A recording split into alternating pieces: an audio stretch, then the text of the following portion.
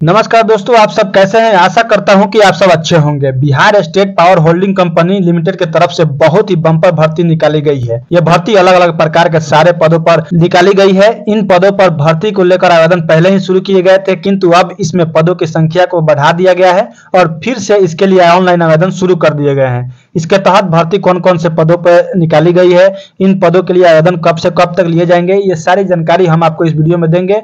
आप इस वीडियो को अंत तक देखें ताकि आपको पूरी जानकारी मिल सके और चैनल पर पहली बार आए हैं तो चैनल को आप सब्सक्राइब ज़रूर कर लें। आपको बता दें कि बिजली विभाग ने चार हज़ार सोलह पदों पर भर्ती निकाली है, जो की एक दस दो से भरा जाएगा और पंद्रह दस दो तक इस फॉर्म को आप भर सकते हैं। तो आपके पास पंद्रह दिनों का टाइम रहेगा। आप आसानी से इस फॉर्म को ऑनलाइन अप्लाई कर सकते हैं, जिसका वेबसाइट है B S P H C L dot C O dot in पर आप ऑनलाइन आवेदन कर सकते हैं। जो बहाली होने वाली है कौन कौन से पदों पर होने वाले तो आइए आपको बताते हैं। सहायक कार्यपालक अभियंता जीटीओ, कनीय विद्युत अभियंता जीटीओ, पत्राचार, लिपिक भंडार सहायक, कनीय लेखा लिपिक एवं तकनीशियन ग्रेड थ्री के बहाली होने वाली है। इन पदों के लिए आवेदन करने के लिए आवेदकों को आवेदन शुल्क देना होगा। इसके तहत आवेदन करने के लिए आवेदकों को अलग अलग जाति वर्ग के अनुसार आवेदन शुल्क का भुगतान करना होगा। इसके तहत आवेदन करने के लिए आवेदकों को कितना आवेदन शुल्क देना होगा, आइए आपको बताते हैं। अगर आप जनरल ईबीसी बीसी हैं तो आपको पंद्रह सौ रुपए आवेदन शुल्क देना होगा।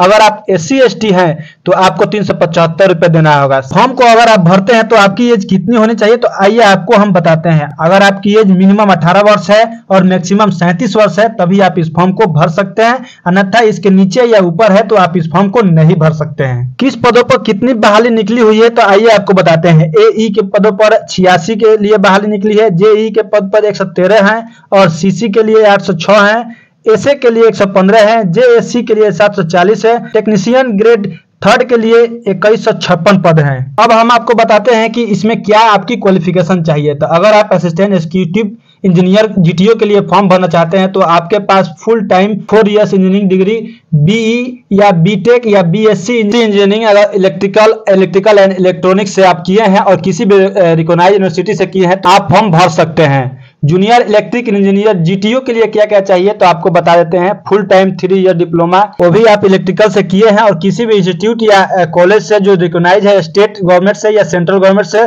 तो आप इस फॉर्म को भर सकते हैं। कोरस्पॉन्डेंस कलर के लिए अगर आप फॉर्म भरना चाहते हैं तो आपके पास ग्रेजुएशन की डिग्री होनी चाहिए किसी भी रिकोनाइज यूनिवर्सिटी से। स्टोर असिस्टेंट का अगर आप फॉर्म भरना चाहते हैं तो इसमें भी ग्रेजुएशन चाहिए, वो भी किसी भी मान्यता प्राप्त यूनिवर्सिटी से आपका जो सर्टिफिकेट है, वो होना चाहिए। जूनियर अकाउंट्स कलर का अगर फॉर्म आप भरना चाहते हैं तो ग्रेजुएशन आपके कॉमर्स से होना चाहिए और किसी भी मेहता यूनिवर्सिटी से होना चाहिए। अगर आप टेक्नीशियन ग्रेड थर्ड का फॉर्म भरना चाहते हैं तो आपके पास मेट्रिकुलेशन होनी चाहिए और वो भी किसी भी रिकॉनाइज बोर्ड से होना चाहिए। और इसमें टेक्निकल क्वालिफिकेशन क्या चाहिए तो आपके पास दो साल का आईटीआई सर्टिफिकेट इलेक्ट्रीशियन से होना चाहिए और एनसीबीटी या state for vocational training S से आपके पास सर्टिफिकेट होना चाहिए, तभी आप इस फॉर्म को भर सकते हैं, अन्यथा नहीं भर सकते हैं। तो आपको ये वीडियो कैसा लगा, आप हमें कमेंट बॉक्स में कमेंट करके बता सकते हैं और मिलते हैं एक नए वीडियो के साथ, तब तक के लिए धन्यवाद।